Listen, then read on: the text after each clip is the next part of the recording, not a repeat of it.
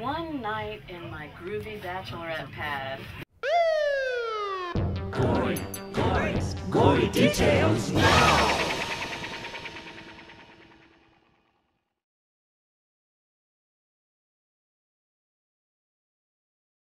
Um, my partner Gary was uh, pulled up and honked his horn, and I ran downstairs and I was waiting for the cars to pass. It was during rush hour traffic. Um, it looked all clear to me.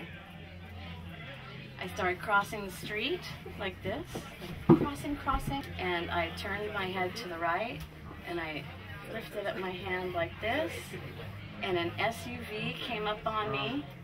And what I remember is the hood of the SUV smashing into my hand, this arm snapping in half, actually snapped in half. If you, you can, it flipped and wrapped around my head. I ended up on the hood of the, of the SUV and my body flew and I landed on my ass, which crushed my pelvis, chipped some vertebrae. I rolled a bit, had road rash all over my face. Um, I remember being in the street, my hand felt very odd, and I kind of looked out of the corner of my my eye, and it was just it was just completely twisted around in my legs as well.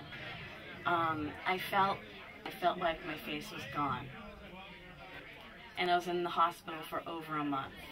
Oh, this is something I just remember. The whole front of my head was split, and for a number of days, I was left with blood caked in my hair and just left there.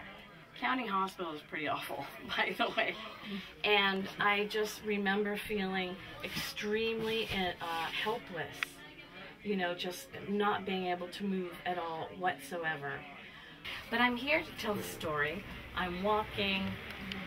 Look at this. I'm like Talking, a flamenco breathing. dancer. She's a flamenco dancer with her hands. It's, it actually is quite amazing when you think about it.